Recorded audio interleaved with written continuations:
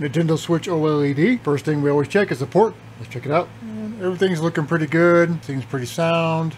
Nothing's loose. So I don't believe this is a port problem. We are clear to do power tests. This video is brought to you by PCBWay. We'll talk about their awesome services in a little bit. First test we'll try is with our 3.5 millimeter to USB-C dongle, which is attached to our benchtop PSU. This is our 5 volt test. And we are drawing a 0.10 here. Now using our OEM and the USB-C meter and no voltage on either side. That tells me we have a charging circuit problem. It is not communicating with the M92T36, which would tell this charger to supply 15 volts. Either something in between the M92T36 or the M92T36 has failed. We're going to need to open this up entirely, pull the board because the M92T36 is on the other side of the board facing the screen. Only way to get to it is to completely disassemble.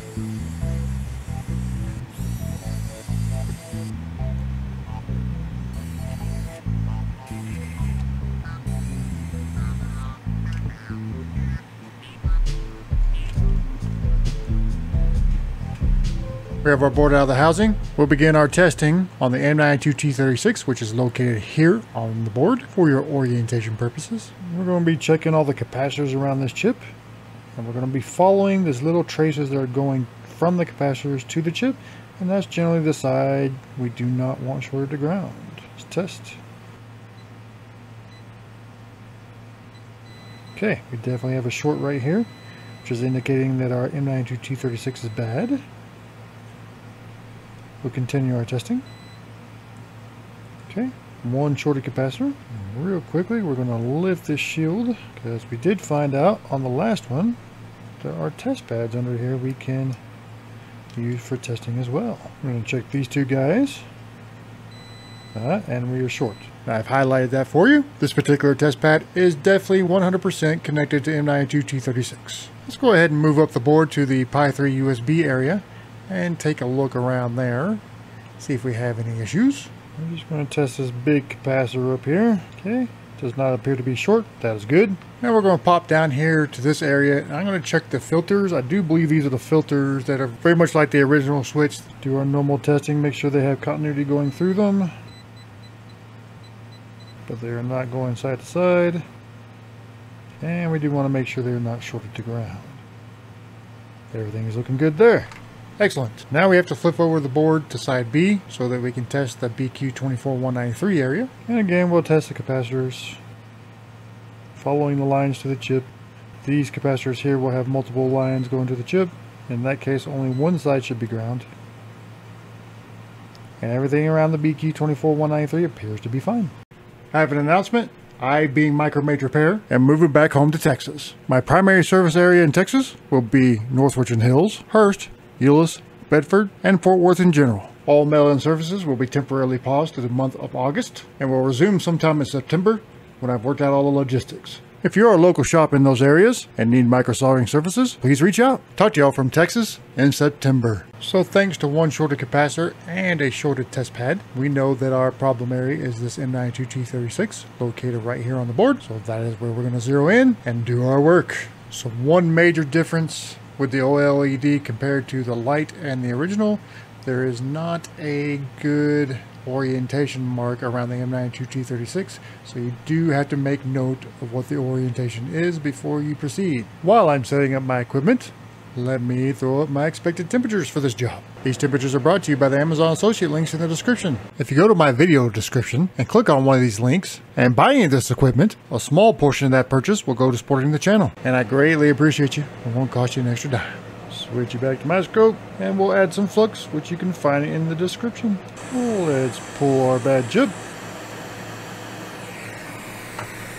While it's still warm,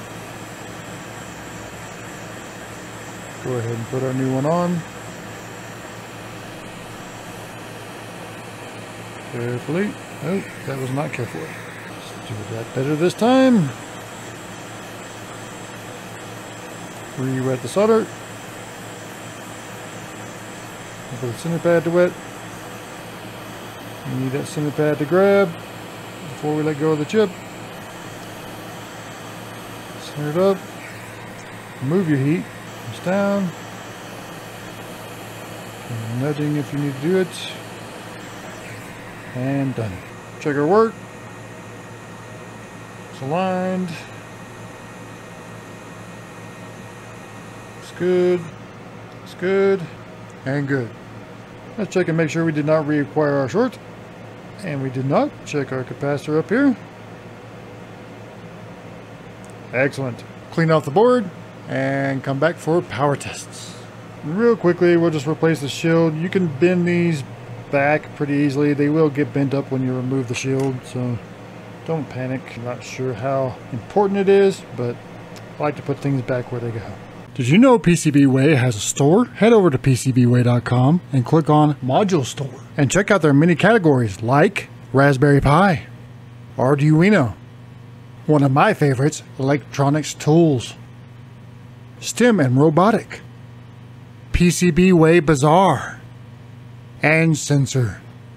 They have many products on sale. Check out my link in the description and start your shopping today. Let's begin our power tests. We'll start with our 3.5 millimeter to USB-C dongle, which we have connected to our benchtop PSU. We are looking at PSU channel 1, and what we want to see here is just recognition on both sides of the charger. That's not really what we're looking for. Sometimes it plays up with the PSU, sometimes it plays nice, sometimes it doesn't. And in this case it does not look like it's playing nice. That is not a definitive test. This one is typically more informative. We have hooked up our modified iPhone Power Squid, which we have retrofitted with Nintendo Switch and Nintendo Switch Lite batteries. The OLED version uses the same version as the original Switch. And in order to activate, we're going to quickly plug in our OEM and then just unplug it. What we want to see here is a steady climb in amperage, and that looks pretty good. Now we're going to test dock. Sometimes with this dongle, you gotta try it multiple ways.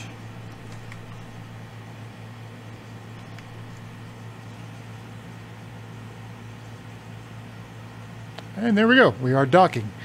And the docking lets us know that our port is sound. If the port was damaged in pretty much any way, we would not be able to dock. It also lets us know that our PI3USB is functional. Excellent. Now we need to reassemble, let it charge on its own battery for however long that takes, and do some more testing from there. As you can see, we're back up on its battery and we're charging. And you can see on the USB meter, we're charging at 15 volts, 0.76 amps. And I just want to make sure we're picking up our networks.